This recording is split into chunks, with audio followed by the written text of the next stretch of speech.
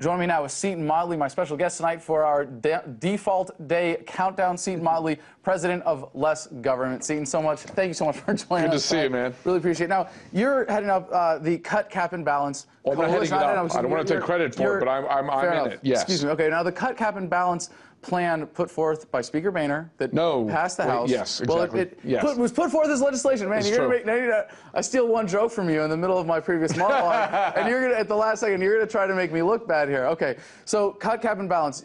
You would put it as the least bad option. Why is that? Well, my ultimate objective would be to not raise the debt ceiling. There are a lot of freshmen. There were nine freshman Republicans who, or nine Republicans who voted no on cut cap and balance because they'd either a campaigned to not raise the debt ceiling at all. There were some freshmen in that mold, and there were some like that, that said it didn't go far enough in, as far as reining in capping spending. But the reason I got in was because long term it was the only solution. It cut spending, it capped it, it gradually, not, again, not fast enough for me, down to 20%, should have been 18 and it should have been faster. Um, and then it had a balanced budget amendment.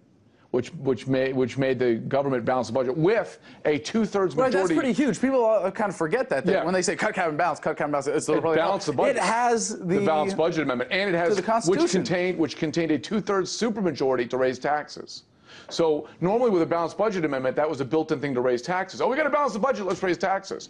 But with the two-thirds supermajority, it was a lot easier legislatively to cut spending than it was to create to, to raise taxes. So that's why I got in because of uh, you know in the in the land of uh, the blind, the one-eyed man is king, and, and cut cap and balance, in my estimation, So any, was any one-eyed man. reasonable move forward in a more fiscally conservative direction That was the most conservative by far, especially when you stare, stand next to the Boehner plan and the Reid plan being discussed currently. Okay, so you also wanted to point out that there is a specific benefit to this compromise. Not that you're saying it's better overall, but that we get to keep our AAA credit Oh, this is the only. Then why, why do you want us to be able to keep bar what us? Why do you want the Feds to be able to keep No, borrowing? I want us to keep our bond rating. That's different. Okay. The AAA bond rating. Remember, the government and the private sector all borrow money out of the same pool. So if the, if the credit rating goes down, it affects us equally to eh, equally as badly as it affects the government. I don't want to raise the debt ceiling, but under the certain the delineated circumstances of cut cap and balance, I'll raise the debt ceiling begrudgingly. But it, the cut cap and balance keeps our AAA bond rating. Boehner plan, they've already come out and said we're probably going to lower you even if that passes. The Reid plan probably going to lower us down to double A from AAA if the, if that passes. What they're looking at, they're not looking at us. It doesn't make any sense when they, the left says we need to raise our debt ceiling limit to improve with our, our image with the creditors. The creditors don't want to see us borrow more money. They want us to be serious about stop spending. They want money. the government to get permission from the to tax the people more in the No, no, future no, no. to pay them Well, off there's- there's- when that comes There's due. some right? of that, but what they want to see is a more reasonable spending level.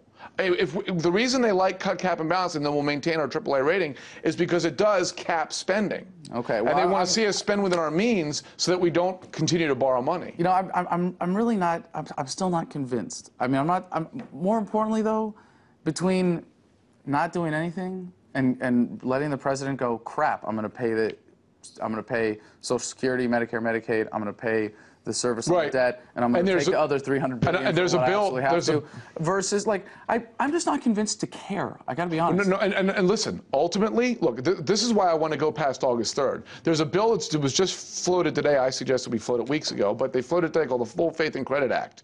And what it does is it lays out what the president has to spend money on if we get past the August 3rd date. Creditors, so, I know, but wait. I think the less that I care, the more I can enjoy people in Washington Spazzing out? Yes. Yes, and that we can both enjoy together. Good to see you, thank man. you so much for joining Thanks us. a lot.